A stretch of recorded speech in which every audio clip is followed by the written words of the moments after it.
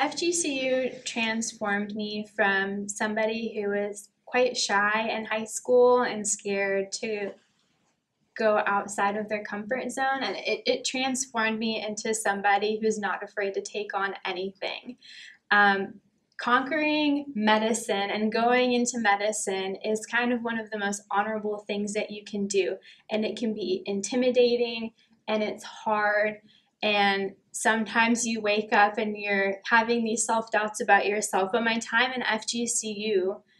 really gave me this foundation of emotional maturity throughout the projects that i did. Um, and it it told me or the time showed me that i'm able to conquer so much just on my own. And it gave me this self-confidence that if i can conquer this time the, these five years at fgcu i can conquer anything because i've gathered all these foundational skills that helped me throughout my career in medicine and in life in general